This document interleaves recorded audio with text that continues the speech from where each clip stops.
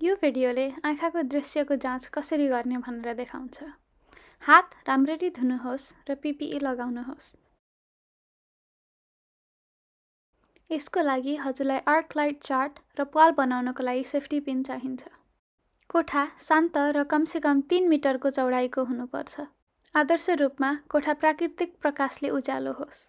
यो जाँच बाहिर हुँदैछ भने घामको किरण जाँच्न आउने मान्छेको पछाडिबाट अगाडिको चार्टमा पर्नुपर्छ। जाँच्न आउने मान्छेलाई आरामसँग बसाउनु अथवा उठाए पनि हुन्छ। अनि एक मिटरको दूरीमा चार्ट देखाउनुहोस्। जाँच्न आउने मान्छेलाई यीको तिनवटा धर्को कतातिर फर्केको छ भनेर देखाउन लगाउनुहोस्। अनि बुझ्नुभयो कि भएन सोधेर जाँचको लागि सहमति लिएर सुरु गर्नुहोस्। जाँच्न आउने मान्छेले चस्मा लगाउनु भएको छ भने त्यो चस्मा जाँचको लागि प्रयोग गर्नुहोस्। चस्मा लगाउनु हुँदैन भने यत्तिकै जाँच्नुहोस्।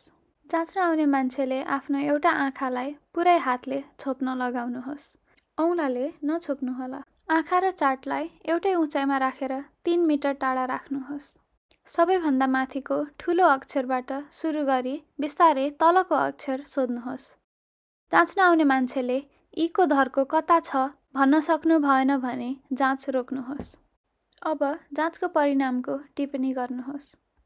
चार्टको देब्रेतिर स्नेलन नोटेसनमा लेखेको छ र दाहिनेतिर लगमारमा लेखेको छ। स्नेलनलाई फ्रेक्सनमा लेखिएको छ जसको माथिल्लो भागमा दूरी लेखिएको छ र मुनिमा सबैभन्दा सानो अक्षरमा जुन लाइन पुरै देखिन्छ त्यो लेखिएको छ। अर्को लाइनको केही अक्षरहरू देखियो भने जति अक्षर देखिएको त्यसको टिप्पणी गर्नुहोस् जस्तै प्लस एक प्लस दुई।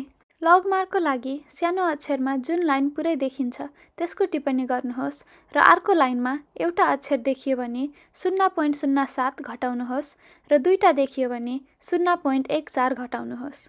जाँच्न आउने मान्छेले सबैभन्दा ठुलो यी तिन मिटरमा नि देख्न सक्नु भएन भने दुरीलाई आधा एक पोइन्ट पाँच मिटर गरिदिनुहोस्। दुरीलाई आधा गर्दा नि देख्नु भएन भने औँला गर्न लगाउनु।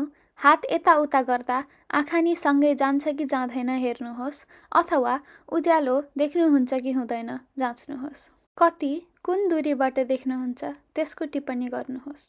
जाँच्न आउने मान्छेको आँखा तिन माथि तिन अथवा शून्य लगमार भन्दा नि कमजोर छ भने सानो पालबाट आँखा जाँच्नुहोस्। पालहरू चाहिँ कार्डमा कालो थोप्ला जहाँ छ त्यहाँ पिनले खोपेर बनाउनुहोस्। यो तरिकाले चाहिँ आँखाको कमजोर चस्माले सुधार्छ कि सुधार्दैन भन्ने थाहा हुन्छ। त्यो कार्डलाई चाहिँ कमसे कम एउटा पालबाट देख्ने गरेर मिलाउन भन्नुहोस्। फेरि दुरीवाला जाँच यसरी नै गर्नुहोस् र पालवाला जाँच हो भन्न नबिर्सिकन परिणामको टिप्पणी गर्नुहोस्। अब नजिकको दृश्यको जाँच गर्नुहोस्। जाँच्न आउने मान्छेलाई चार्ट आफूभन्दा चालिस सेन्टिमिटरको दूरीमा पढ्न मिल्ने गरेर राख्न भन्नुहोस्। पढ्नलाई चस्मा लाउनुहुन्छ भने चस्मासितै जाँच्नुहोस् नत्र चस्मा बिना जाँच्नुहोस्। दुइटै आँखाले पढ्न लगाउनुहोस्।